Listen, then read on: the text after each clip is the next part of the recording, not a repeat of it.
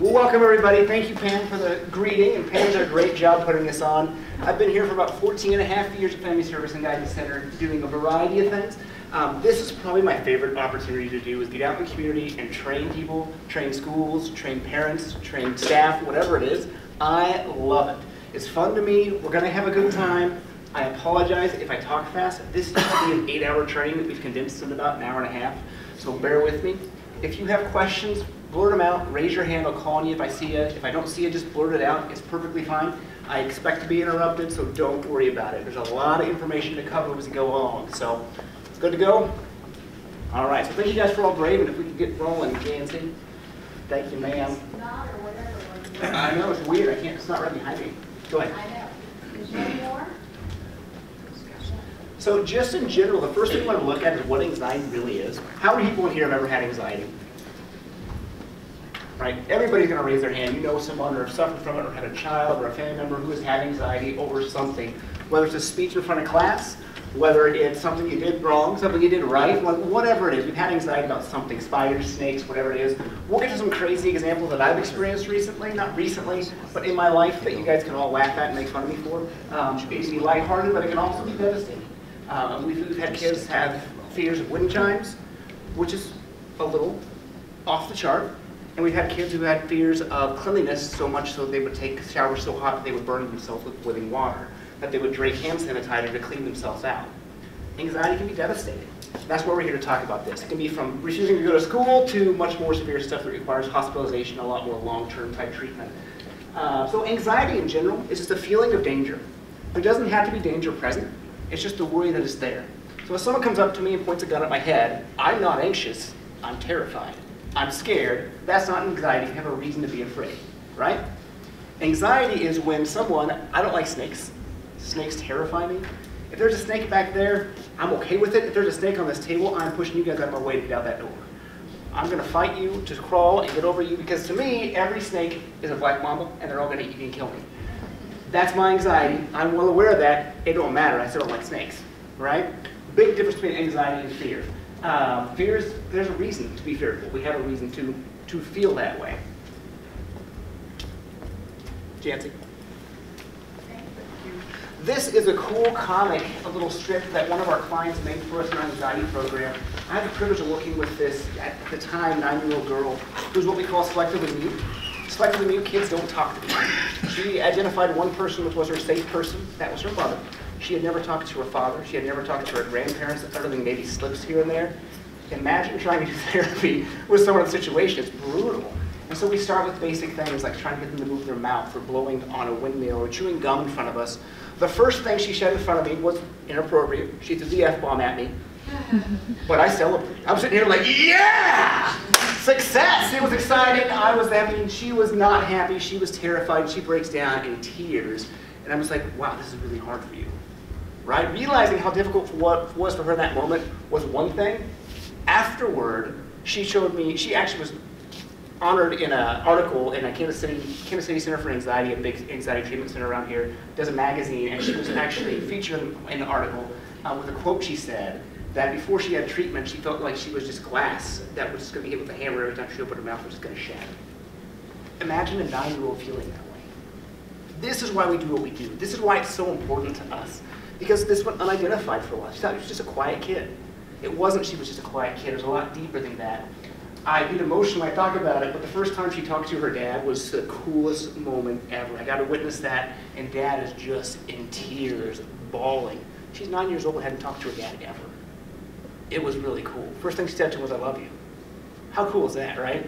Really cool stuff that we get to do. So she came to this, she was able to jump to the worst conclusions in a single bound. That's anxiety in a nutshell. How many of you have ever done that? Your loved one's late coming home from work, and it's snowing out, and your loved one's never late, and you're sitting there on the couch, and you're like, huh, it's 8.30, she's supposed to be home at 8 o'clock. And in your mind, you're going, she's fine. But somewhere in the back of your mind, anxiety starts tugging and says, she got a car wreck. It's stormy out. It's starting to snow. She's not alive. Or he's not alive. What, everybody's nodding their head. Everybody's experienced this, right? Or a kid. I know I did that to my parents all the time. we all probably did. I've done it with my wife before, She makes me nervous when she drives in the first place because she just doesn't like driving. She's from a real small town. She doesn't like to drive in busy areas. She was driving on a holiday out with her mom doing shopping on Black Friday and they were like an hour later than anticipated. She didn't answer her phone and I, of course, panicking, knowing it's anxiety, trying to use the tool to teach you guys tonight to calm myself down. It didn't work. Anxiety is real, affects us all, right? We jump to the worst conclusions very quickly and our thoughts absolutely control us and get in the way of that. Ready for the next slide, Jancy. So, when does anxiety become anxiety? Just kind of what I was explaining there. Fears and concerns are unreasonable or out of proportion for what the situation is.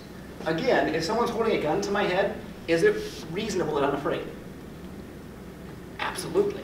If someone's breaking into my house, is it reasonable that I'm afraid? Absolutely. Now, if I'm worried about someone breaking into my house every single night so much so that I'm sleeping one or two hours because I have to get up every hour to check the alarm, to make sure the dog's awake to protect the house, to lock the doors, to lock the windows, to make sure the baseball bat's by my bed, or whatever it is, that's when it becomes excessive. That's anxiety. Are some things reasonable to be afraid of, like maybe public speaking? Absolutely. But if it comes to the point where you have a child or yourself that can't do a public speech and you're failing because of it, that's when things become really complicated. Reassuring someone isn't enough. Have you ever been anxious and someone told you, ah, oh, it's okay? How helpful is that? right? It's not. It just makes you worry more because in the back of your mind, all your brain is telling you is, oh crap, oh crap, oh crap, oh crap, oh crap. Things aren't going well. I'm nervous. I'm a wreck. It doesn't matter what you say. I know she's been late 15 times before, but this time's different and I can't tell you why. And that's anxiety screaming at us, telling us something different. Symptoms generalize to increasingly more situations, so my fear of snakes is considered anxiety, but it's not something that we really ever want to go treat. Because how often do I have a snake in my house? Once. You'll hear that story later. Um, how often do I worry about, if my fear of snakes was so bad, and I've worked with kids like this, that they wouldn't go outside because they had a fear of snakes. That's when we jump in and want to treat it. A fear of snakes is a pretty normal fear. How many people here are afraid of snakes? Spiders? Wasp stinger things, things like that, right? A lot of people are raising their hands with this. I don't like them either. Spiders don't bother me too much. Snakes, I'm terrified of, and like I said, I will beat you all at the door if one shows up. Um, usually when I do that, people start backing away. I start asking if they're afraid of snake. People like backing away and moving their chairs back. I'm like, dude, I'm not holding a snake. There's no way I'm bringing that in as an example. So um, you start seeing it interfere in growth and productivity and sleep problems. So I'm going to go ahead and throw my example out here to show you what anxiety was like for me. And this was really eye-opening for me in the sense of trying to understand how my clients feel and how the parents feel sometimes in those situations. So as I've disclosed multiple times already, I don't like snakes. Well, there is a snake in my house. I live in an older neighborhood in Topeka, and we have a coal chute in our house and the snake crawled into the coal chute. So I saw it one night, it crawled out of the water heater, and I scream bloody murder. We have a newborn baby. My wife comes down with the baby, and she goes, what's wrong? As I'm literally strapping catcher's gear on. I'm putting shin guards, I'm putting chest plate, I'm putting a helmet on, I have a rake and a hoe, and I'm ready to go to battle with this thing. Because in my mind was not garter snake. In my mind was black mamba, right? I know black mambas don't live here. I didn't care it was going to kill me and it was going to eat me. Any snake is going to kill and eat me when it's in my house. That's all that mattered, right? my lovely wife says, here, take Gemma. So I take my daughter. She grabs the snake, walks outside. She's my hero. My wife is five foot two, country girl. She is tiny, but she saved my life that night, and I owe her everything to this day, right? Well, the snake found its way back in. About a week later, I'm doing laundry. I'm at home by myself with the baby this time. Baby's crying, wanting milk. I'm on the phone with my wife, like panicking. There's a snake. It's back behind the dryer. The baby was away. How far away? She, I just got to the grocery store. I'm like, you need to come back and feed the baby. She's like, you go feed the baby. And I was like, I can't. I got to keep an eye on the snake. It's to run away. And she goes, oh, it'll probably just go back under the water heater. So, of course, I go get the baby and I come back like sprinting down the stairs with my infant, and the snake's gone you have any idea how terrifying it is when you know it's in your house, but you have no idea what a daggone thing is? Oh man, don't go on Google. Where do snakes hide? Guess, any guesses? Everywhere! They climb stairs, they climb walls, anywhere warm, your bed, your sheets, under your pillows, under your mattresses, under your cushions, under your couch. Oh my gosh, it was so awful. I couldn't sleep that, I literally did not sleep that first night. Um, every time my wife would like put her arm around me, she got hit. we have a cat in the house. The cat's tail looks suspiciously and feels suspiciously like a slimy, dirty snake that's going to eat you in the, in the middle of the night. So the cat got thrown out for the night. It wasn't an outdoor cat, but it became an outdoor cat real fast. I came to work the next day and I was utterly exhausted. And I didn't want to come back home. I was like, uh-uh, that thing is still there. I called my wife like five times, you find it yet? And she's like, I'm not going to find a snake in it. It's going to crawl back out. I said, that's fine, you can crawl back out. So my wife made the decision to, she found the hole and she sealed it. And I said, brilliant! Now it's trapped in the house. right? And that's the only thing that stuck in my mind. For weeks go on, I am hanging my clothes up on shoes line, on, on fishing line, in my bedroom, because I know the snake can't climb on that fishing line. Right? My shoes and everything are up, and my wife was, thought it was hilarious. Um, she played many, many pranks during this time. We'll love you, honey. So uh, she, she had a good time with it. I was literally contemplating moving with my parents. I was not sleeping. Working was hard. It was affecting my productivity at work. It was affecting my attitude at work. It was affecting my attitude at home. Work was my respite. It was nice to get away from home, away from this dangerous creature that was going to eat my face off, to come to work and not have to worry about a snake being here. So I come home one night, about a month later, my symptoms start to kind of subside. Over time, anxiety will go away. I kind of figured it probably left the house, so I'm good, right? Well, I'm downstairs, of course, doing laundry. I bring the laundry upstairs and I put my hand in my pants and I pull it out and something wraps around my arm. The scream that came, the primal roar that came out of my mouth was so loud, I think the neighbors woke up. Our neighbors are gun-toting people. They are NRA supporters beyond belief. They literally run outside in the rain to check to see if everything's okay. I'm the idiot outside my boxers, throwing the entire bag of laundry out there and taking a broom and just beating the clothes. And they said, Travis, what do you do? I said, there's a snake in my pants! Not something you ever want to say again in front of your neighbors out loud. Really a weird conversation for the future. They haven't let me go. They also ran after that. These are big bodybuilder guys. Like, literally, that's what they do for a living. They took off running back to their house. I'm like, you guys have the guns! This thing is going to kill us all! Right? It obviously wasn't going to kill me. It died. Um, we ceremoniously burned them and my pants in the backyard, um, and it was over. But just the example of that. Has anybody had an example like that? Now you have to share it, but we've had that experience, right? Terrifying. It's awful. It feels horrible. I can laugh about it today. In that moment, it was so uncomfortable. It was so miserable. There was nothing funny about it. There was nothing enjoyable about it. Every day going through this, checking under the pillows, hitting my wife when she put her arm around me, not sleeping with blankets and freezing because I didn't want to be warm because the snake likes warm places, right? It wasn't comfortable. It was an awful feeling. Um, luckily, I haven't had a snake in my house since then. If I get one, it'll be another story for y'all. So, I keep see me. So lots of different anxiety disorders. If I touch base on something here you're more interested in, just raise your hand and ask. Um, I've been over these many times. We're just going to touch base on real quickly. Um, generalized anxiety disorder. This is probably the most difficult to treat. Not probably, it absolutely is, to be honest. What generalized anxiety disorder? This is someone who, what we kind of coin as living a life of anxiety. They're someone who's afraid of anything and everything at any given time. We're not talking just snakes, we're talking everything. We're talking about the roof caving in, we're talking about the coronavirus, we're talking about whatever it is, mom not coming home, we're talking about being late to school, we're talking about people making fun of us. All of these things combined become generalized anxiety disorder. This is really difficult to treat in the sense of the way we manage it is we teach them how to manage their anxiety as a lifestyle. Because it does something that doesn't go away when you have this type of lifestyle. It's really challenging, it's really difficult. Not that it's not treatable, but it's by far the most difficult anxiety disorder to treat that we have. Everything else on this, on this list, we have about a 16-week process, and we're usually done with treatment. We've had some kids come in, and we've had so much success with our anxiety treatment program. We do sessions like this, just an introductory section. We teach them about anxiety, and they go, that makes sense, and they don't come back. They come back maybe six weeks just to check up, and we're done.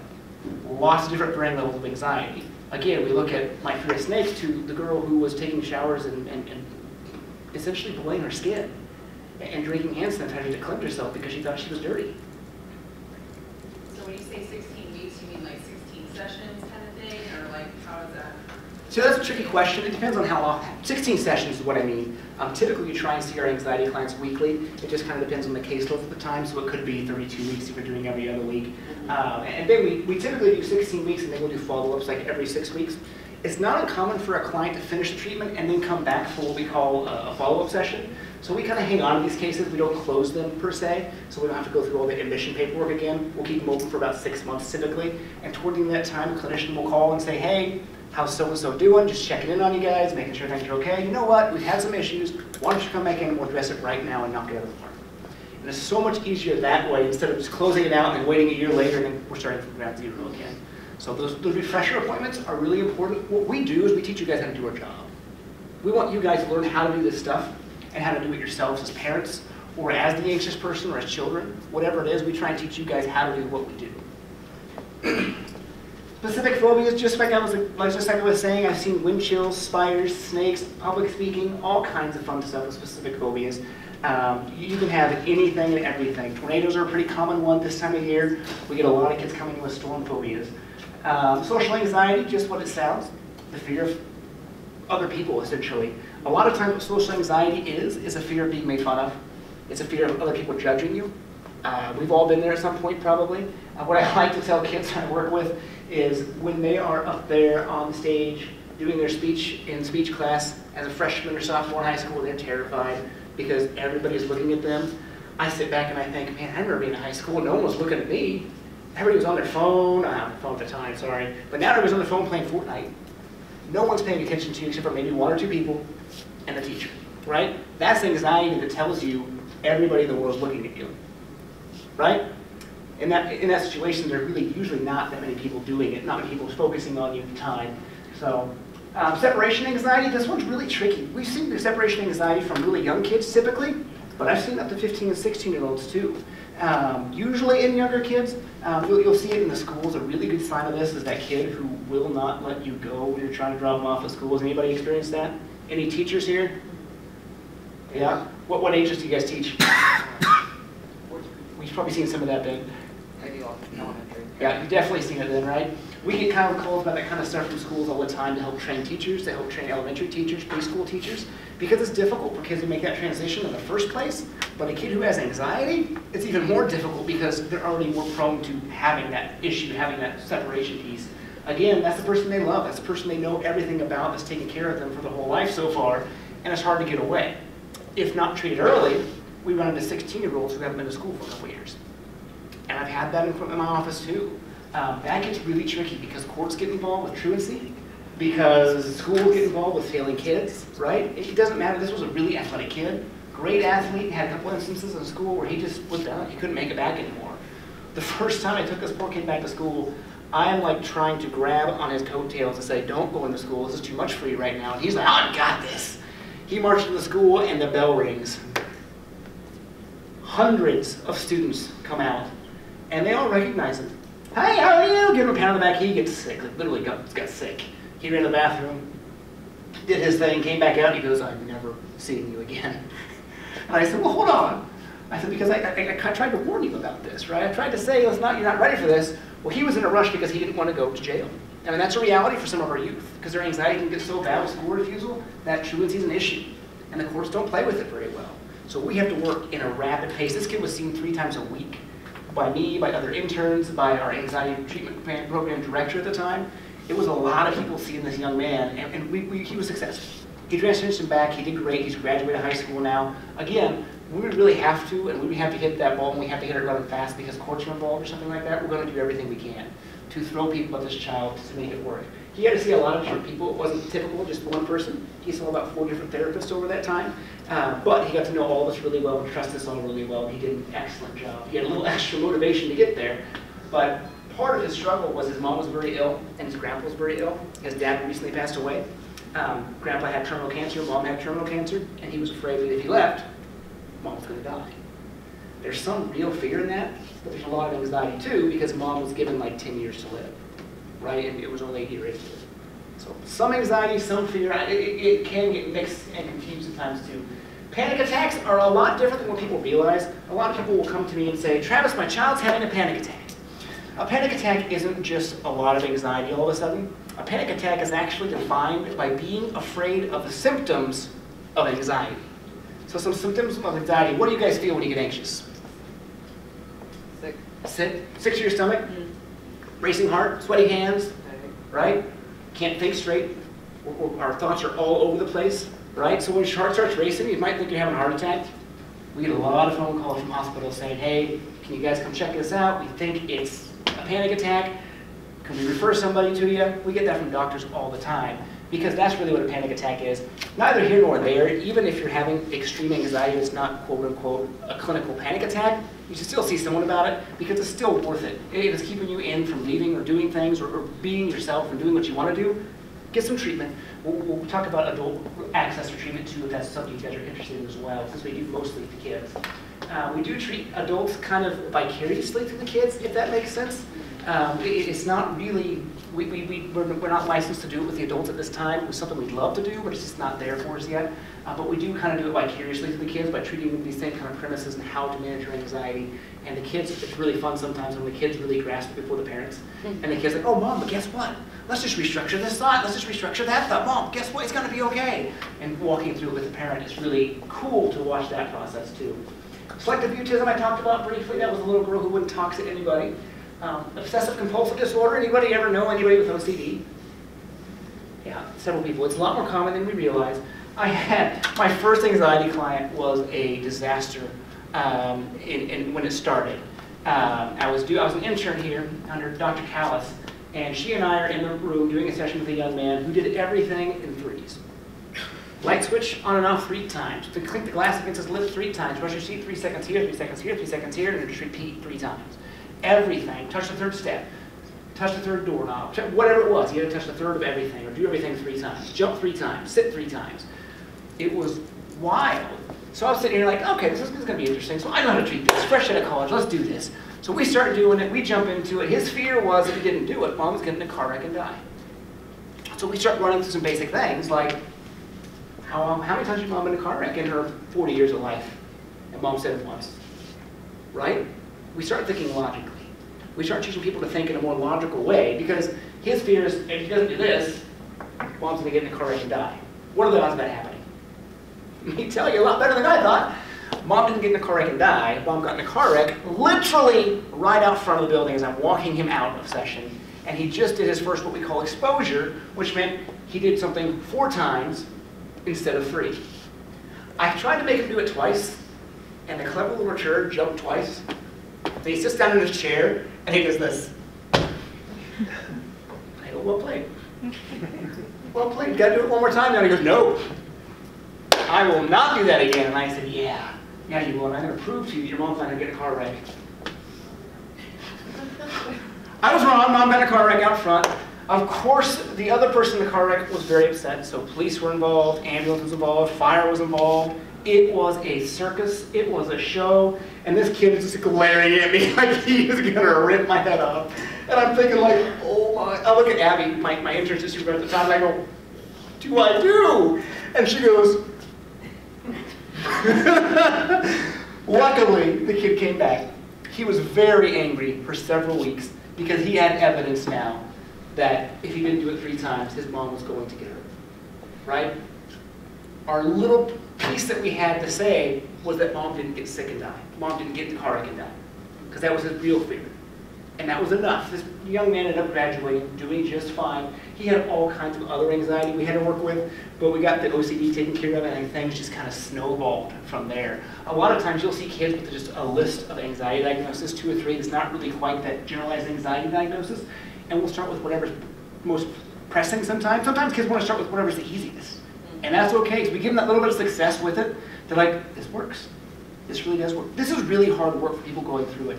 If you've ever done anxiety treatment, it is incredibly challenging to do because what we do is we make you anxious, right? We've all seen it on Dr. Phil. We've all seen it on the talk shows, that exposure therapy, that, that flooding type therapy. We don't do flooding, we do exposure therapy, and we expose you to what you're afraid of. For a kid who's selectively mute, we're going to walk him around the building and have him shake hands with people. Or maybe we'll start with just saying hi, right? Instead of shaking hands. I've had kids do crazy things. One of my favorites, I had a young girl who became quite the class clown, um, so much so that we had to kind of rein that in too. But she was going around shaking people's hands. She, she would just panic, just waiting at people's offices at first. Then we do fun things like name my stuffed animal, and we have votes on naming the stuffed animal or something like that. Just make it fun for her. Um, and then one day she went up to, of all people, our CEO, and goes up to her and says, "Hi, my name's Travis. I wipe with that hand," and walks off. And I was like, "That is brilliant!" Right? Because the goal was to embarrass herself, and it didn't embarrass her at all. She was at that point where she didn't care what people thought about her anymore. Right? And She was like, "I've got this," and she looked at me with the biggest smile on her face. And Brenda, our CEO, looks at me like, "What just happened?" And I said, ATP, which is anxiety treatment program, and she just smiled. She goes, whatever works, right? And we moved on. Uh, it was a great day. So, Tourette's and tic. Um, if, if that's what you have questions about, I can answer some. This is one of the things on anxiety that I don't treat, um, just because I don't know as much about it as some of our other providers. We have people who specialize in it specifically, so it's not my thing. But if you're interested, I can still answer questions for you about it. If you, if you have questions, feel free to ask now or afterward. Um, I can talk about treatment for that as well. School refusal we've talked about as well. A lot of times that's social anxiety. Um, it's not technically a diagnosis, but we see it a lot. We kind of wish it was a diagnosis because we see a lot of kids just refusing to go to school for a variety of reasons. So if you had to say where anxiety started, we have a triangle here. Thoughts, feelings, or behaviors, where would you say the anxiety starts? You guys have to talk for a second so I get a drink.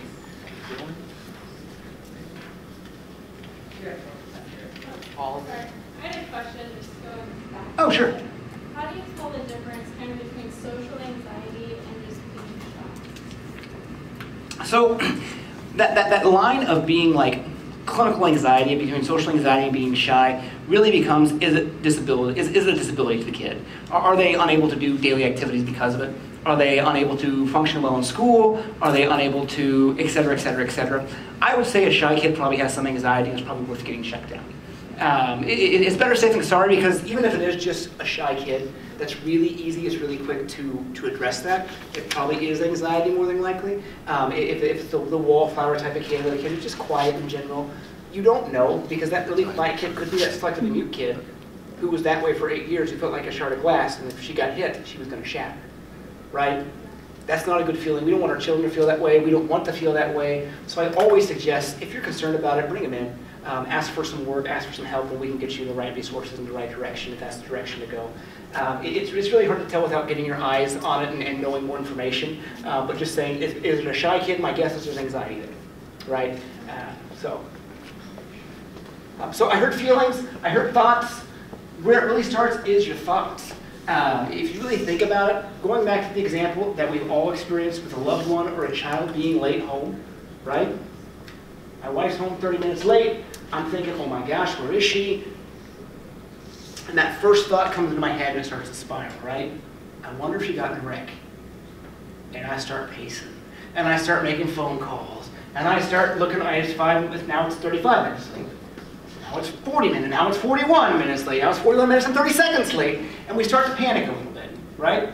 The thoughts start to spiral out of control from she just got in her fender bender to she got in a wreck to she got in a wreck and rolled over and the car's on fire to oh my gosh she got flung out of the car seat even though I know she always wears her seatbelt she got flung out of the car a semi hit her she ran her over and she's lying dead on the side of the road. You ever been there? Situations like people nodding their heads. Yeah, absolutely. I've been there. We've all been there. It's what we do to ourselves with anxiety. So we start. Our focus is to stop that thought process. If we can stop that spiraling of the thought, we can get things back in touch. You heard me talking about this some already with kind of the restructuring thoughts, what we call it, cognitive restructuring. Um, it's the premise of the therapy treatment we do. Um, it's, it's changing the thoughts to think more rationally. So if I have a kid who's afraid of tornadoes, this time of year it's common, right? We get meteorologists involved, we'll get science involved, and we'll use numbers because math doesn't lie very often, right? So we'll talk about how many tornadoes does Topeka have in a year? On average, five tornado warnings, right? How many touch ground? On average, one, right? On average, what's the size of that tornado? It's like an F1. Again, we're talking averages. Can that big one happen? Do we still need to be prepared? Absolutely. We need to be prepared. We want kids to be somewhat anxious about it. Anxiety isn't always a bad thing. If you're completely not anxious and you're chasing the tornado and all of a sudden hit your car, you got a problem. It's good to be safe, it's good to be prepared. But kids who get, see that dark cloud in the sky and they think, oh my gosh, there's going to be a tornado today, right? They don't know the difference between a tornado watch or tornado warning, or severe thunderstorm watch, or severe thunderstorm warning. All of it's the same, and it means there's a black mamba, they're going to die, right? So it gets really interesting to work with kids like that. So we'll use numbers, we'll throw numbers at them. Again, we'll look at the size of a tornado. How, how big is a tornado typically? What's the biggest tornado you've heard of? Think of Moore, think of places like that, Greensburg. You're talking two mile wide tornadoes. How wide is Topeka? What are the odds of it actually hitting your house? They're so small, so infinitesimal that you start to realize, oh yeah, should I be afraid? Sure. That's okay. I'm not going to tell you you shouldn't be afraid of tornadoes. Should you be so afraid that when you see a dark cloud in the sky, you don't go outside and you're panicking and you're hiding in your basement all night? Probably not. Probably a little excessive, right? So we'll do things like that. Um, we will wait until we have a tornado drill in the agency. We'll, plan a tornado drill after hours sometimes, or a fire drill, as far fires are worried about. Or we'll pull the fire alarm and tell them it's a tornado alarm. That's our agency tornado drill. We need to go to the basement. We need to take shelter. And we prep the parents, but we don't prep the kid. We'll tell the kid afterward, right? But we want them to feel that anxiety so we can work with them in that process, why they're anxious, so we can talk through them in that, in that moment, right? Uh, it's really tough to do it when you're just sitting in the office. That's why we do exposure. We want them to have as real as can be. Some things are harder to expose than others, like tornadoes, because we can't plan them. But we can do our best to plan them by pulling the fire alarm, or by saying, hey, there's a tornado drill, or have reception say, there's a tornado warning for this area. While the whole agency knows what's going on, and not making we're going to participate because we usually do it at 6, 7 o'clock, well after hours, we still do it.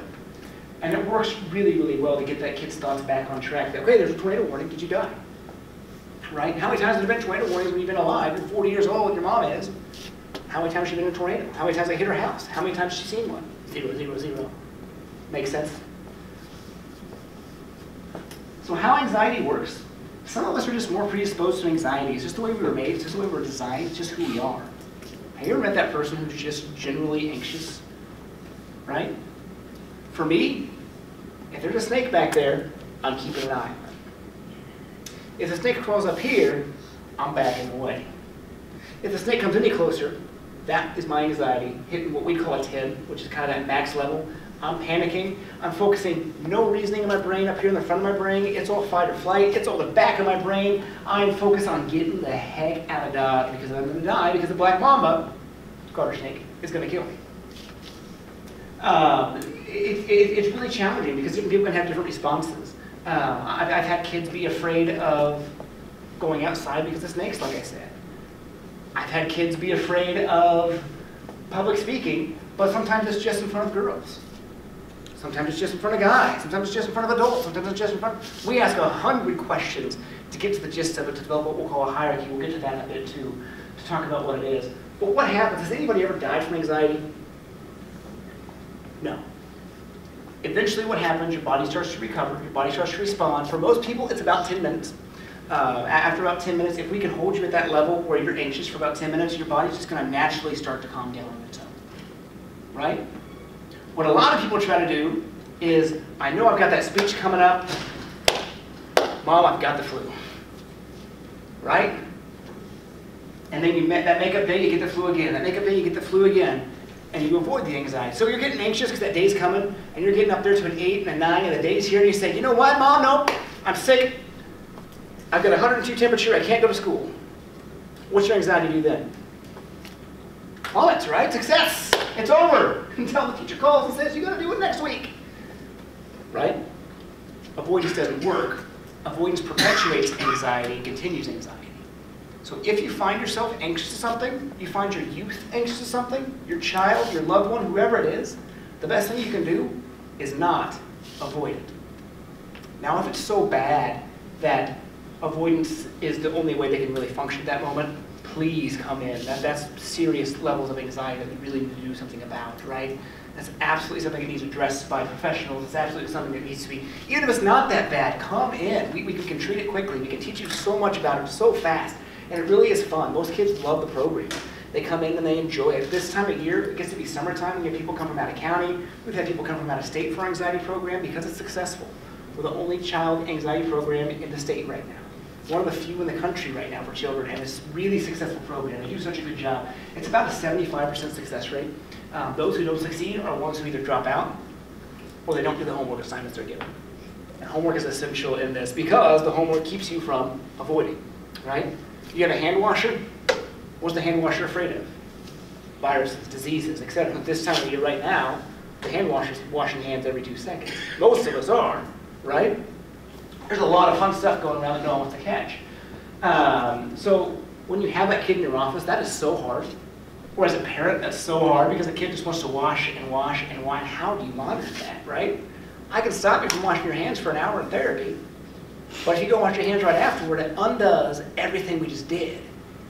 And we're back to square one. That's really hard. It takes a lot of work from the parents involved and things like that as well. Um, but what happens when we avoid is we teach ourselves that there's a reason to be afraid. If we avoid doing the speech, we don't ever learn there's nothing to not to fear about speech. Right? If the kid wouldn't have stopped doing things every three times I had OCD, he wouldn't have ever learned that he didn't have to do that to protect his mom. Right? Even though we had a crazy coincidence, he came, overcame it because they would have realized that was the next step. Go to the next slide if you would, please. So this is kind of what I was talking about, with that 10-minute limit. Um, if it lasts more than 10 minutes, you really do have an issue. Um, it really is a lot more severe anxiety. If it's lasting that, probably getting in that panic attack range. Um, you uh, are really, really struggling if it's lasting more than 10 minutes. But most people, your body will start to just shut down on its own in about 10 minutes. Because when you're anxious, what's it feel like? You are so overwhelmed. And if you've ever been anxious for 10 minutes to a level to where we're talking like a 10, you're exhausted afterwards, right? Some of the kids we work with are constantly living. That shy kid could be that one who is constantly anxious and just can't verbalize, just can't tell anybody what it is. So it's really important to look into it, investigate, and ask questions and see what it is that makes them, if they're nervous, if they're anxious, use those words. Um, I had a kid who identified anxiety as Mr. Freaks. I love that name. I thought it was the most clever name, he would always talk to Mr. Freaks and talk about Mr. Freaks being this thing that he had to get out of his head, and that was what anxiety was to him. It made it real for him, made it tangible to him, and it worked. Um, typically not my style, but it worked for him, so we went with it. Eventually, what we teach through exposures is that if we sit in that problem for long enough, the anxiety starts to go away. If I go shake 10 people's hands, and people are friendly with me and not saying anything, it starts to feel pretty good, right? It starts to feel a little bit better. Okay, so now I'm not a 10, now I'm like a 5. Cool, that's a successful day. Um, Jancy, next slide, please. You can see that one. So what we do over, over time, what happens is you just see it's pretty simple. Just, just start to get easier every time. So we start at a 10, then we go to an 8, then we're at a 6, then we're at a 4, then we're at a 2, and then pretty soon you have a little girl shaking hands with our CEO saying, I wipe with that hand. No one shakes hands and says that. No, but we take it to the nth degree, right? For a reason, because we want to make sure they can do it. We want to put them in situations that are so unusual that we want to know if they can handle it. Do they need to handle those types of situations? No, you're not going to go around walking and shaking people's hands. She did because she thought it was hilarious. Um, I kind of thought it was funny too until the school called. And I was like, oh, well, let's talk about social appropriateness now. So that's, that's my fault. Um, I like to have fun when I do it. I like the kids to have a good time, so I'll be goofy when I do it too. I've had kids go lay on people's office floors and just like a log, just plank there for until someone notices them. Just lay there on the floor and make weird noises until someone says something. And sometimes I'll make them go in our office and I'll say, we're coming in, don't say anything for 10 minutes. Why 10 minutes? Because that's that limit too, right? Makes sense. And they have 10 minutes, sometimes we'll have people act like they're mad. What are you doing? Get out of my office. And eventually the kid's just like, that was kind of fun, right? Get that little shittiness back. Can I ask you a question? And you may cover this, I apologize. Sure. are, But like, how would you do, re- ex- exposure or response training or this type of, how would you handle that with like a PTSD anxiety? Absolutely. So that is really challenging. It depends on what the PTSD is, right? Um, do you have an example? Well, my son, he had cancer as a two-year-old, and now he has like this overwhelming fear of getting sick.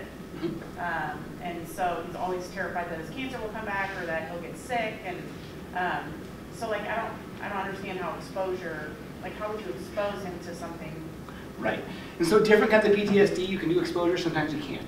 And this one, you could do some exposure stuff. A lot of education is what's going to take on this. It's going to take a lot of education. It's going to take professionals. I'm sure you've had doctors talk to him, explain stuff to him.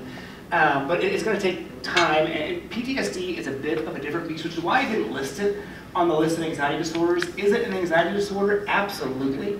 Um, for someone who has had PTSD from 9/11 or something like that, like that's very exposure based. We can do a lot of exposure based treatments on that. Someone from PTSD who's been a war veteran, we can do a lot of exposures and things like that. But what you're explaining is is a lot more complicated anxiety. And can we do exposures? I have to really sit down and, and sit with you more and talk about it. Um, but I, I've got a couple ideas in my head that would, that could work in that way. Just constantly worrying about being sick. Like right now, it's a perfect opportunity for exposures, right? Well, we don't want anybody to catch this illness that's going around right? I'm not gonna say, here, go lick the table, but we can do things like that. It's got kind of an OCD vibe to it, it sounds like. Kind of like, a, you know, worried about getting sick, or when he gets sick, he probably panics a little bit, etc. Um, it's okay, how many times have you been sick before? Just walk through that. How many times have you been sick, mom? Dad, how many times have you been sick? Aunt, how many brothers, sisters, how many times have you been sick? Right? How many times has it been cancer? It's a really hard conversation, especially when you're a two-year-old, because that's not just anxiety, it's trauma. Um, trauma, anxiety, He's eight now, so, so he's getting to an age where he understands enough that, he, it's becoming more difficult. but he doesn't understand it. Yeah, yeah, exactly. Yeah, and, and if he's not in services, I would encourage him, um, because PTSD can be treated in many different ways. This is, this is more complex than just that. This is emotional piece, because there's a lot that goes to it. That- You know, there- there's probably some more hiding than just anxiety there. It sounds like there's definitely anxiety. My guess is probably a little bit more to it, if that makes sense. So, Hope that helps answer your question Yeah. somewhat, so. So the master plan for dealing with anxiety, first things first, we want to empathize with what the person's feeling. Don't just blow it off and say, you shouldn't be anxious that there's a snake in the house. No, you should be anxious there's a snake in the house because it's a black mamba and it's going to eat you and you're going to die. No. Yes. uh, no. Um, is that an irrational thought? Step three, absolutely it's an irrational thought. We label the problem as a worried brain. With younger kids, we'll talk about it as like a worried brain. It's not reality. Maybe that's a good example for an eight-year-old. Is saying, look, is just your brain taking control. This is just your brain telling you, you need to be worried, you need to be afraid, you need to be... What we do in this situation too, we'll talk about that a little bit more. I just, my brain started working a little bit better here. Um, in the sense of how we can restructure thoughts that are coming. Oh my goodness, I'm sick, is it cancer, right? We can start restructuring those thoughts by talking about irrational thoughts. I have a little cheat sheet we'll use later. We'll use an example of someone's brave enough to, to share an anxiety experience, or we might not do that. We might just, depending on time, we might just do a quick one. Uh, but irrational thoughts get in the way, and that's where it starts. That irrational thought of there being a snake in my house wasn't that there's just a snake in my house, it's that it was going to bite me, right? I know it wasn't a black mamba. I knew it wasn't poisonous, but it was a snake, and it was ugly, and it was looking at me. And that's all that mattered, right? That's all that mattered. It was going to bite me. It was going to sleep with me. It was going to snuggle with me at night. I don't care if it wanted to be my pet. If I got my hands on it, it wasn't going to be alive much longer. Right? I, I don't do snakes. I, I, I had a point last year. I was mowing my lawn, and we had this little dog run. We don't have dogs, but the, house before we got it had a dog run in there. And I was like, oh, kind of forgot to mow that part the last couple weeks. So the grass is super tall. I start mowing this black snake sitting in there, and I drop the mower and I run. And Trista goes, my wife, snake. And I said, yep. And she goes, I'll finish. I love you. Uh, she is my hero. Not just because of snakes, but it's a big part of it, I'll be honest. Getting the body on board, um, this is where things get kind of tricky. Uh, different providers will tell you different things. Medications become really interesting with anxiety. Um, you want medications that can be helpful. A lot of providers will tell you don't use medications. Um, it depends on kind of what the treatment is. It depends on whether you need that crutch or not. The challenge with medications is if you over-medicate it, you can't feel the exposure, and then you rely on that medication forever. My personal preference is to avoid the medications if at all possible. There's been times when I've recommended medication for severe OCD, for the girl I was telling you about who had to clean her body by drinking hand sanitizer or taking so hot shower she would boil water and pour it on herself to clean herself. That's obviously a situation where we want some more medications involved. I'm not saying anxiety medications are bad. Don't take it that way. But if you really do want to take it seriously and get over it, anxiety medications can help. If you can do it without anxiety medications, it's going to be faster. Not that it has to be super fast. You can take a year doing it, right? It's like a weight loss program. If you're trying to lose 100 pounds, you don't do it in a week. Trying to get over anxiety, you don't have to do it in 16 weeks just because that's the average. Some kids take longer, and that's okay. Some kids take two weeks. It doesn't matter if it takes three years. It matters that we're making progress. That's the key. And we go at your own pace. That's one thing you'll see from our clinicians all the time. So we're going to refocus on what you want to do. What would you do if you were in charge and not the worry? I would sleep. If I knew that the worry wasn't in charge and there wasn't a snake in my house, I would, I would be sleeping. Right? That was awful. Oh, I don't like thinking about it. Stop making me talk about it. Reinforce the individual's efforts in fighting the worry. Do a good job, right? It's really hard. What was one of the most helpful things for me was the snake experience. I've been anxious. I have never been afraid to do public speaking. I have never been afraid to be on a stage. I have never been afraid to, I'm just a social person. It's just who I am. This, this is fun. This, this doesn't bother me at all. Um, I know for some people this is terrifying. I could ask someone to come up here and I guarantee you I can find at least one person here who would just absolutely refuse to come up here in front of everybody and say something. I see some people shaking their heads. I'm not going to do it, don't worry. Right? I know some people go up here, this guy right here, he's like, oh, dude, I'll be a clown, let's go. let's, let's, let's do this right now. Um, don't avoid facing it or reinforce escape or avoidance. The worst thing you can do for anxiety is avoid. If you're avoiding the anxiety, you're going to make things worse. Um, again, that's how anxiety perpetuates itself. That's how it continues. That's how it gets worse and worse and worse. And that's why early intervention is so important. If we can avoid the avoidance early on, we catch it at age five or six for the shy kid, or we catch it at age seven or eight for the slightly mute kid, it's a lot easier to treat than when you're 16 years old. Right? The kids who struggle and take a little bit longer in anxiety treatment, or adults, or people who have had it for years. It's a lot more challenging because you've given your more, yourself more reason to be afraid, because every time you avoid what happens again, you give yourself a reason to fear, because you've never had that successful experience of, oh, it didn't happen. What do you do with extremely extrovert people?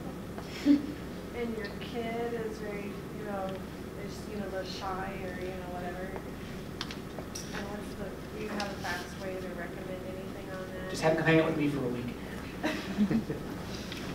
Can you repeat that question so everyone? Yeah, what she was asking is, if you have a shy kid or an anxious kid, what do you do if someone's really ext- an extrovert in your family and constantly trying to play, and constantly trying to get them engaged, and be a fixer, that kind of stuff? Is that what you're asking?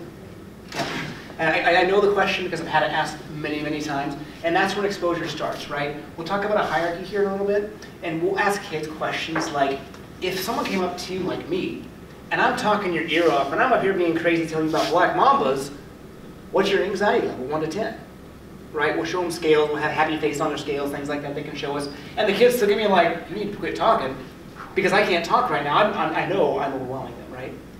So I'll have it back a right? It's getting them used to someone who's not as much of an extrovert at first, and then ramping it up, and then ramping it up, and then ramping it up, and then ramping it up, right? If I really want to address my fear of snakes, I'd work with the zoo or the library when they have those animals come and my children hold the nasty, slimy things and I won't touch them for a week. So, I'm joking, I still touch my children, but it's not fun. Actually, I, I, they have to wash your hands if they touch a snake because, you know, their slime will kill you too. I think it might turn you into a snake, it's like a zombie thing, I'm not sure. But it's dangerous, yes. Snakes Oh, we- they are to me. See, anxiety, rational thought. Right, They're actually dry, I know, I don't, I've never touched one. Probably never will touch one. Uh, but if I really wanted to work on, a- on snakes, um, I, I would, I would expose myself to being around snakes. If I see a snake at the end of cage, it doesn't bother me. My fear is not extreme, but if that snake is out of that cage and it's coming at me for whatever reason, my body says, get out, right? And I'd have to learn to sit there with it. I have to learn to be in, the, be in a room with the snake, running loose. A room this size would be a good place for me to start. Because I can keep away, I have plenty of room to move, right? You move me to a bathroom stall with a snake, I'm breaking that door down, right? I'm climbing over right now, but after time, I wouldn't. Same thing with the extrovert kid. You can start with someone who is more passive, or maybe more of an introvert to have that conversation with. It's like walking down the hallway and just waving people. Instead of walking down the hallway and saying, I wipe with that hand. Big difference between those two behaviors, right? Doing this can make someone super anxious. That's where we need to start, that's where we start. And we work into that extroverted person, right? I'm an extrovert, I am most definitely an extrovert, uh, and it's just who I am, and, and it works really well for anxiety treatment, especially with kids who are socially anxious, because they just see me and they're just like, oh, this guy's not just crazy, this is who he is. I'm kind of crazy too, don't ask, bam, don't say anything. Uh. Um, emphasize the anxiety identify the struggle as being anxiety, it's nothing else. Because if we don't realize that it's not, if, if we think of something else, that's when it becomes real again, right? That's when it becomes that fear versus anxiety thing. Every time we think it isn't anxiety, we think we lose. That's avoidance. That, that, that's not realizing what the problem really is. Once you can understand what anxiety is and realize that it's a problem with your thought process and realize that it's a lot of irrational thinking, becomes a lot easier to handle. Oh, you know what? That is just anxiety. Right? Uh, my wife is, is an anxious person at times, just like most people, and I will literally walk her through cognitive restructuring sometimes. I don't have to anymore because she'll just do it herself. Right? Just look at me, she's like, I know, and she'll walk off. and then she'll come back and say something about a snake to harass me, so. So what is this cognitive restructuring that I've been talking about? So we want to identify situations that result in anxiety. Easy example is that socially anxious kid, right? Um, socially anxious kid, anybody have a, know someone who's socially anxious? Yeah, what's a fear they have? Not being liked. Not being liked, right? Again, uh, what I what I've noticed in social anxiety in, in my time here is a lot of times it's a fear of what others think about you, more so than being in front of other people, right? Which tells you guys, I don't care what you think about me. Joking. Um, it really though, it, it, it doesn't bother me, right? It, it just over time, some people are gonna love it, some people aren't, and that's okay, right? It, it really is just how things are. But in a kid's mind who's going through that situation, maybe the shy kid, it could be, well, Johnny doesn't like me, Sally doesn't like me, my teacher doesn't like me, my uncle doesn't like me, so I'm just not gonna talk. So they can't judge me. Right? That's a comfortable feeling. Um, identify thoughts that are automatic and irrational. Have anybody ever been anxious and you just have this thought come into your mind like that? Ever happened? Right? See a lot of heads nodding. Um, happened with the snake. The snake showed up and I thought, Black Mom's gonna die. Right? I didn't like it. It wasn't comfortable. Um, sometimes we work up to a little bit more, but a lot of times it's just this quick automatic thought that comes into our head. Uh, someone's going to break in the house. A young man I worked with who, whose parents had separated. It was a good, clean separation, but in his mind, from the friends he knew and other things he heard about when parents separate, you got to watch your back, right? And he was in a situation where he thought it was a really dangerous situation, that dad was going to come back, and dad was going to break into the house and steal the kids and all this stuff. And I'm thinking like, wow, okay. So we talked about it. Dad was coming to sessions and hearing all this too, and dad was sitting here like, what? What is happening? It wasn't even a divorce, it was actually a separation. They got back together and they ended up working things out. And the kid was still super anxious. He developed this fear of the housekeeper broken into. And so we walked through things, exposure like you would with an extrovert, uh, or an introvert, sorry, um, to what, what his steps were at night. So every night he would literally wake up every hour to check the alarm, to lock the doors, to make sure there's a baseball bat, to make sure the dog was awake. The dog, poor dog never slept. Poor dog didn't get sleep. And it was a big dog. You're talking German Shepherd here. It was a big, big old dog that he had. He had two of them. Um, they lived in a nice neighborhood. So we start walking through. Where do you live in Topeka? Oh, we live over here off Gage Park, that gated area. Okay. So we're not talking Central Topeka. We're not talking Highland Park. We're not talking some of the higher crime areas. Yeah, okay. Well, what do you have in your house to protect? Well, we have locks. Cool. You have locks in your windows? Yep. Okay, so we start walking through this process. He's got locks in his windows, he's got locks in his doors, they've got an alarm system. His dad was a cop. Come on, he got two German Shepherds. They are very protective dogs.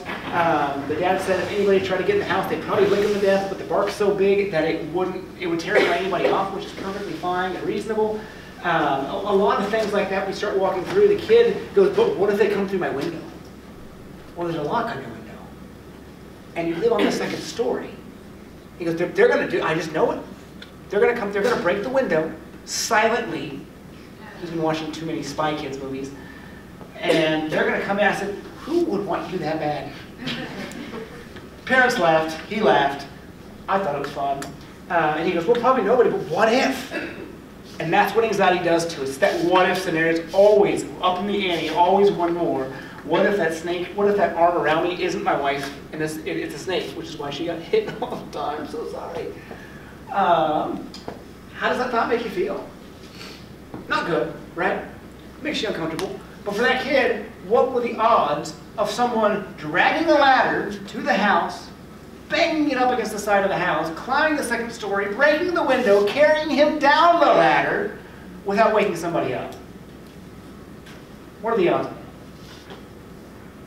Probably not very good. Is it something that could happen? Sure. But again, what are the odds? Very, very, very slim, right? Again, I always like to go back to that. How long, how old are you? Well, I'm 12. How many times has someone broken into your house? Well, it's never happened.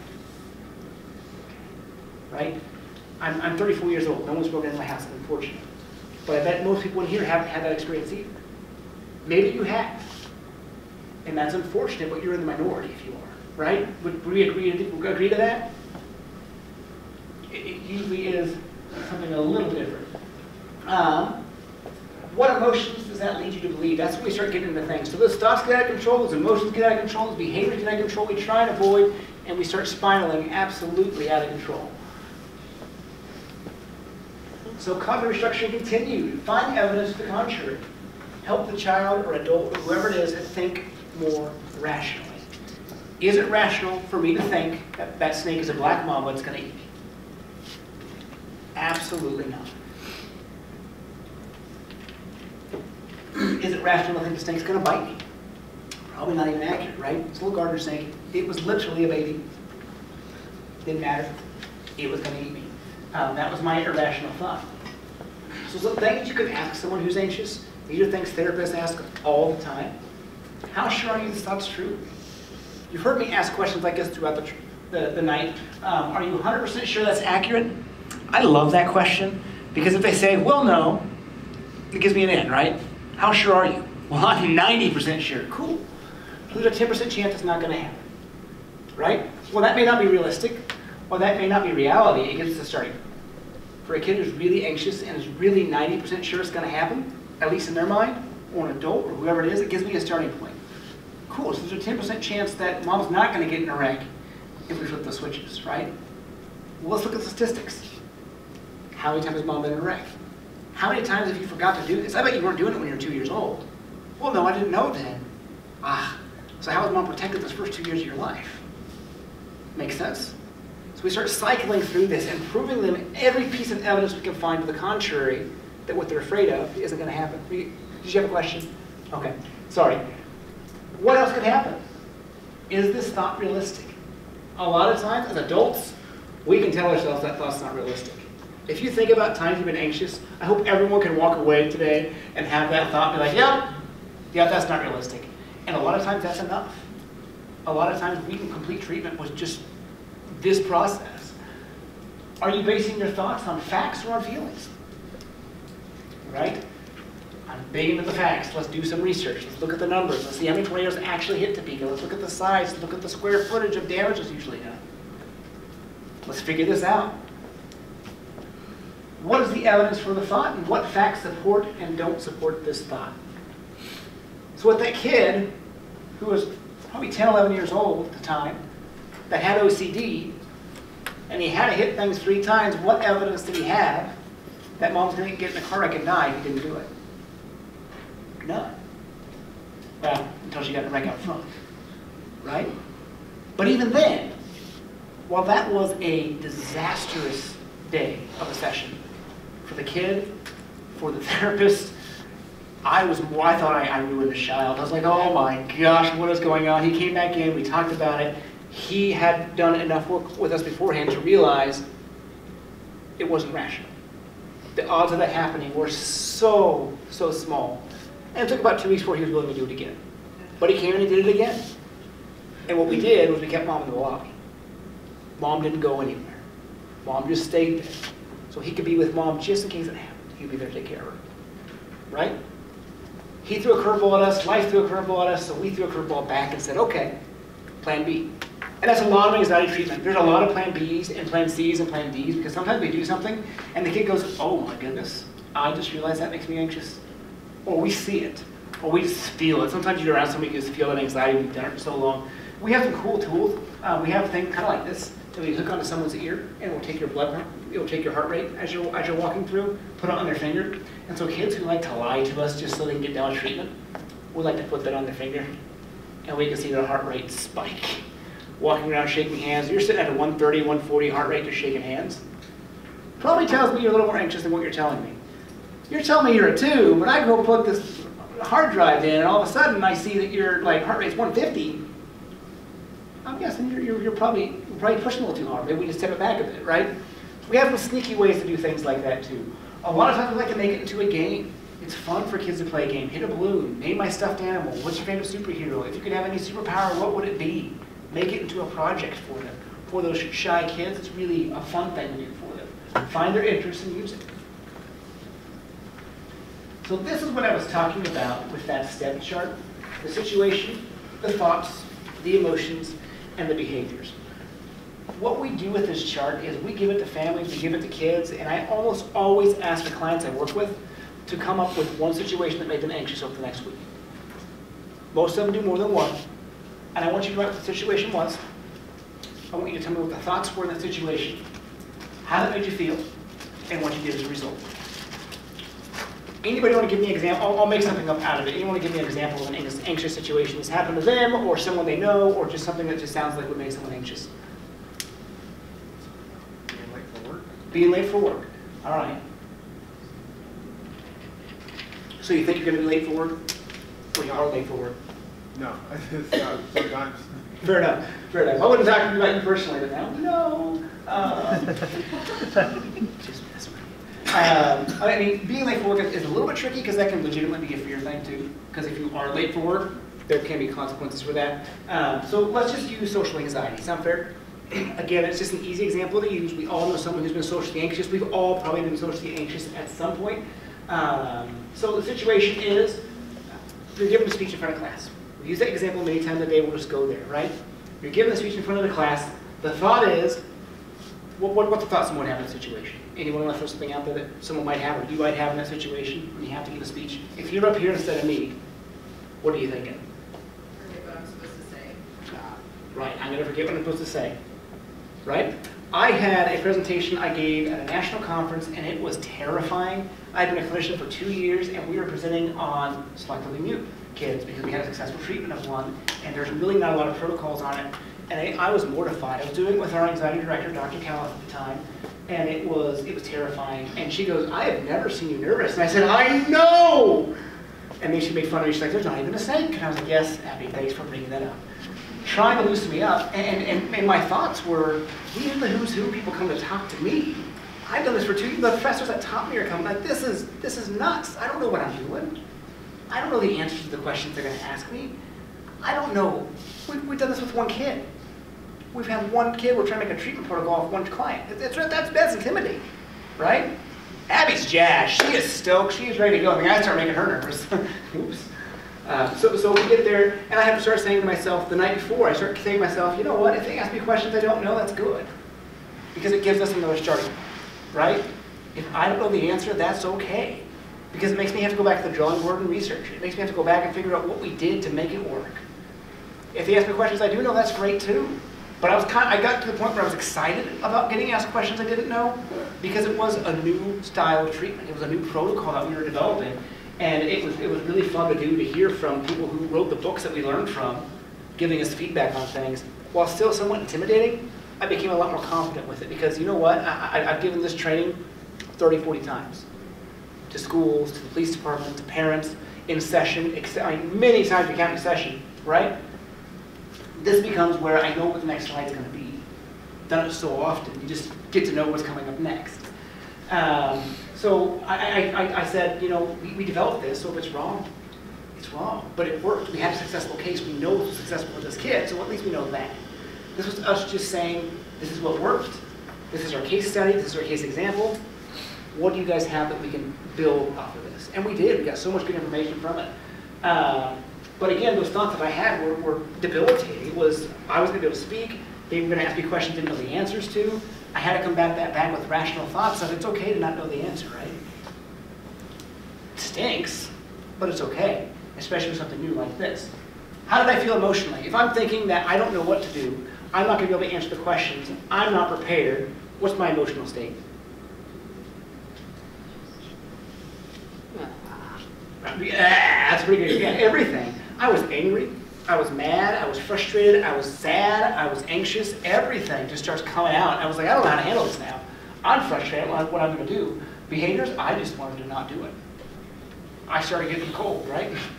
Started coughing a little bit. Started getting a tickle in my throat. I started thinking like, what can I do to get out of this? Again, how did I combat that? I go back to thinking rationally. How much time did I put into this presentation? Probably 100 hours. Not this one, but that one, right? How many hours did I spend working with this client to be successful? Hours, right? How many hours have I studied anxiety? How many hours did I go to school? How many times did I practice this presentation on groups with our anxiety treatment program to train our interns? Multiple, multiple times. It started to give me more confidence, right? I feel a little bit better that way. So my emotions in that situation, I'm feeling more confident. It's not I'm perfectly fine. I'm not going up there with no anxiety. I'm still anxious, but I have a lot less anxiety, so I can go up there and I can handle it. I don't avoid it, so the anxiety goes away. Has anybody ever done acting, been on a stage, anything like that? Several people raising their hands. That first line you give hurts sometimes, doesn't it? Or that first word you sing. I used to sing in my nerdy days in a barbershop quartet. I love singing. We competed in college. It was a lot of fun, and I remember walking out there on stage for the first time. I was like, I'm not anxious. I get this, and then I see the, the whole arena is filled with people, and I go, oh crap. I'm anxious. I don't get this, right? And then after I sang the first couple notes, I was good, right? For someone who's really anxious, they're going to get to the first song and be really good. For someone who's done it a hundred times, which I have now, doesn't matter. I go out there and I'm just me. It just becomes part of me. The first time I gave this training, I was a lot more anxious than I am this time.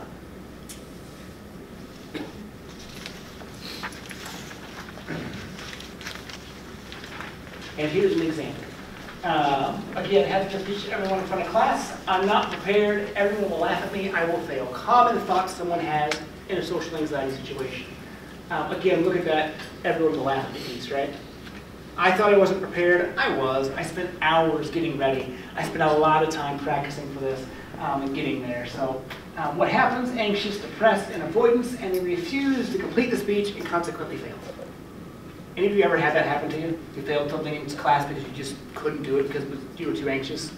Or had a child of yours fail because they just couldn't do it because they were too anxious? Right? In those situations, we like to ask, where do you want to start? Do you want to start doing it just with me? Will the school allow us to do it with you and just the teacher? and then we'll add another teacher.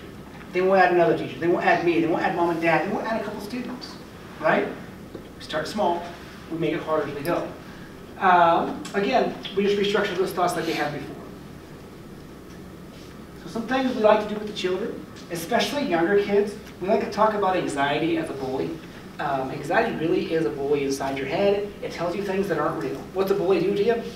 They're doing things to bother you, to get under your skin, to, to make you uncomfortable, to make you not feel good about yourself. That's exactly what anxiety does. It's just you doing it internally to yourself. So we teach kids that we're going to boss it back. We're going to squash the anxiety. We're going to tell you, you can't control me. I'm in control, not the anxiety. The kid who named his anxiety Mr. Freaks, I loved it because it made it so tangible for him, made it so real for him. Um, he, he knew exactly where he felt anxiety every time. Um, he, he would feel it in his hands more than anything because his hands would just shake. Now, granted, I know he felt it in his stomach because I could see him doubling over when he got anxious. But to him, it was his hands, and he was a shake. I mean, his hands would just go. Um, but again, he overcame it. A lot of it was overcome not just by exposures, but by that thought process. So the way we start, we start with this thought process. We'll start with kind of the cognitive restructuring piece and give them ammo to go out there and be more successful in, a- in an exposure. Sometimes this cognitive restructuring is enough. For someone who is really intellectual, not saying you're super smart, but someone who can process things in a different way than most, sometimes this is enough. It's not intelligence based, it's just based on how you kind of view the world and how you function in general. Um, someone who does more processing type stuff and sits back and thinks and is more intuitive about things is going to be a lot more successful with this than somebody else. Um, if they're not successful with it, that's okay. That's what exposure is for, right? That's that next step, that's that next level. Uh, help them identify what the intrusive thoughts are. Sometimes it's images. We have some PTSD stuff we use for kids who have had PTSD or maybe have a fear of flying or have a fear of wars um, because they've come from a foreign country or something like that. It's legitimate. We have those kids. We've got virtual reality stuff we use with these kids. It's really cool. It's really fun. We can throw them in those situations where they can be in the moment where there's soldiers around them again. To where they're in a thunderstorm, there's a tornado siren going off. To where they're in a plane and they're sitting next to the person next to them and they're coughing up a lung and they're like, oh my gosh, they've got the coronavirus. It's not going to be okay, right? We, we, we can simulate that. It's hard for me to go get on a plane with a kid, right? So sometimes we have to improvise with things. Uh, relaxation techniques, another good thing to do is just practice relaxing. When you're anxious, what happens to your body? You ramp up, right? You're going 180 miles an hour, your brain's going 100 miles an hour, you're out of control, your heart rate's up, everything's going wild. So if you can start to relax yourself, find a way just to de-escalate a little bit. And we teach a lot of relaxation techniques from deep breathing, from different ages of kids. And we'll do progressive muscle relaxation, we'll do mindfulness training. Uh, mindfulness is really kind of the direction to go anymore. A lot of people use mindfulness training. If you, has anyone ever here done mindfulness? When you first start, isn't it really hard? Man, I have so much ADHD. There's so much going on here constantly that I sit down and try and be mindful. I can't do it. And I honestly have a hard time walking kids through mindfulness activities because I struggle doing it, right? And something we always encourage our therapists, if you struggle doing it, it's probably not the right fit for you, right? I have a little girl I work with, and I see her probably every two or three months now, and she was terrified of getting her blood drawn. Uh, and she needed it done because she was hypoglycemic, um, she was di- pre-diabetic, very athletic, very fit little girl, just had genetics that just were built against her for medical disorders. And so she had all kinds of stuff. They were trying to figure out if she had celiac disease. They didn't know or not, but she couldn't get her blood drawn because she would literally run screaming from getting her blood drawn. Um, she actually, within the last six months, just got her blood drawn for all this and got it all taken care of and successful in it. I went with her. Um, that was what she asked. I said, what can I do to have you use these skills that you've been practicing because you are doing so well, not calling mom every five minutes from school. Not calling mom the moment you get home and when she doesn't answer, you freak out. Not calling dad and freaking out. When mom makes a sound downstairs and cough, you don't run to check on her. It was more than just the blood draw, obviously. So we had all these successes we could throw at her, and this was the last hurdle. And she goes, Travis, I cannot not avoid this. I have to avoid this. Will you come with me? And I'm sitting here like, where's it at? She goes, Kansas City. And I was like, oh, you got it. Absolutely. There was really no hesitation. I asked permission from my boss. My boss said, absolutely, let's do this. I drive down there, take half the day to drive out to Kansas City with her. It took an hour because they had multiple blood draws. She brought her dog with her, who was her support animal. We, we set this up beforehand. It's not a support animal technically, but we set it up with people we know at Children's Mercy because we work with Children's Mercy a lot. Um, so they said, yes, absolutely, as the dog had his shots. We sent information ahead of time. We got there. She knew who the nurse was because the nurses tried 15 times to draw her blood. And we finally got there, and the nurse missed. Worst nightmare, right? So we're doing mindfulness. She pulls up an app on her phone. I didn't even know she was using this app. I suggested to her a long time ago, and she starts using this app, and you see her just immediately just go, and she became an expert at mindfulness. Like to the point where I would bring her in to train with me. To the point where I would bring her in so she could train people how to do mindfulness for me, because I struggle with it. She does an incredible job. She does 15 minutes every morning. That's how she starts every morning of her day. Whether she's anxious or not, she starts her day with 15 minutes of mindfulness and ends her day with 15 minutes of mindfulness training. Her parents started doing it with her. Kind of cool, right? Again, she had the blood draw. We went above and beyond. We got it taken care of. Relaxing techniques. Hope you get that extra little edge that gets us there. Other things we can do is worry time. Have you ever sat down and tried to just worry? That sounds silly, doesn't it? Try and be anxious for 30 minutes. I've had many kids come to my office and tell me, I just anxious all the time, I can't stop worrying. Cool, sit down, here's your journal, you got 30 minutes, start writing. Write down everything you worry. And after about five minutes, they stop writing.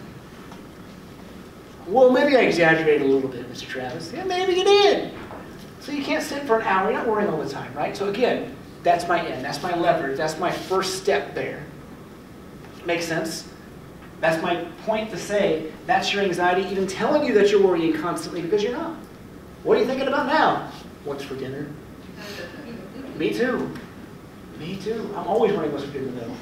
So talk about anxiety. Be open and honest about it, just like anything. Just like you would talk to your children about sex and drugs and alcohol and suicide or whatever it is. Have that conversation about mental health. Have that conversation about anxiety because you make it real. You label the anxiety. They know what it is, so it doesn't become as fearful. The monster hiding in the closet is terrifying until you realize it's a coat. Make sense? Awesome. Tolerating uncertainty. Sometimes, could, this, could that tornado come hit your house? Maybe. We want you to know that's a possibility. The odds are very low, right? Sometimes what we do with the kids who are so anxious, we'll say, they'll ask us questions to, to be reassured. Well, well, Travis, what if, what if, what if mom gets in a car like a, a week from now? Is that still my fault? Maybe. I don't know. Right? And you're like, oh man, that is mean, but it works, right? I hate it. It doesn't feel comfortable. It feels mean. We had a kid coming through our anxiety program, and I was one of the female therapists. I still am, um, and uh, it was it was so hard. I had to be the mean gym teacher. I'm not a mean guy. Like that is not me. I am the outgoing goofball, and I'm sitting here like trying to scream it. I was like, no, I can't do this. This is not. So we got our COO. Those of you who know who our COO is, he is a sergeant, and he was a sergeant in the Air Force. He was really good at it. I was not good at it. He, he was he went drill sergeant mode and went off, and he he's, he's not a clinician anymore. He still has his license. He still does that kind of stuff, but he hasn't done therapy in years. He jumped right in and helped us out with it. That's the cool thing about coming here is we have so many people willing to pitch in, from our CEO to our COO to attendant care providers to, to marketing staff. We've had everybody pitching on things like this. We had marketing help with a kid one time who had fear of performing. And so marketing had her help do some performance things and things like that. And she was a beautiful singer, a wonderful, wonderful singer. She did some opening stuff for us too, I believe, at one point. So um, visualizing, we can visualize it. If we're really struggling with the anxiety, we'll start with visualizing it. Close your eye. We'll do some mindfulness. We'll, we'll practice that situation where you're doing the speech in front of people. When you do sports psychology type stuff, you do a lot of visualization. So you see athletes, what's the, what's the athlete do when they're taking a free throw? Right? Every time they're practicing. They're practicing five times. That's what they're doing. They're visualizing it going in. They're visualizing it missing. They're getting they're missing the point, right? But visualize it. That way you can get used to the situation. That might be enough to make someone a 10 on that 1 to 10 anxiety scale, and that might be where we start, which is visualization. Um, activity scheduling, this is really just scheduling out your day. Um, sometimes people who have GAD, this is really helpful in the sense of you're going to have 30 minutes here where you're just going to sit and worry. This 30 minutes, we're going to move on. 30 minutes to worry, 30 minutes worry. It's really difficult, but it's, it's, it's a lot more complex to do. One of those things you can probably definitely want guidance on um, from someone who's done. Not that it's really, you can't do it, just people have done it more often. So teaching new skills, again, when we're teaching new skills, we want to practice praise, point out, and prompt. So important to, again, identify these issues as what they are, which is anxiety. If they think it's legitimate fear, if a kid has the fear that you or I would have of someone holding a gun to our head for giving a speech, that's out of the norm, right? But I guarantee you, we have youth in the community who have that, because I've seen it many, many times. They need to know, number one, that it is anxiety. They need to practice the anxiety. They need to practice not being anxious. They need to practice being anxious. They need to praise, point out, and prompt. Anxiety is a good thing sometimes. If you have a student who isn't anxious about a test at all, how do they do typically? Not very well, because they're not studying, they're not focusing. If you have a student who's super anxious and studying constantly, how do they do? Not very well, because they're not sleeping, they're not getting a chance to rest and let the information soak in. If you have that middle ground, you tend to do pretty well. Some of the most important things you can do, prevent undoing, means We're not allowing them to avoid, right? Prevent undoing the hand washer, the kid who's washing his hands, or the kid who jumps twice and then sits down and does a sneaky third jump, right? I learned my lesson. When there's kids like that, always make them do one more, right? Don't, don't do two because you can undo that really fast. So made him do a fourth. And to him, it wasn't a matter of doing two more. It was set, that, that was four, and I can't go backward now. I could do six, and I asked him, he goes, well, I could do six, but that's six, not three. Awesome. That's a lot more fun and a lot easier. Most OCD people who have number type issues, you're gonna see that. Um, it really is stuck at whatever number it is, it's seven, it's three, it's four, whatever it is, you'll see that. I don't know why that happens, it's not important. Where the anxiety comes from usually isn't important. Uh, it's just a matter of treating.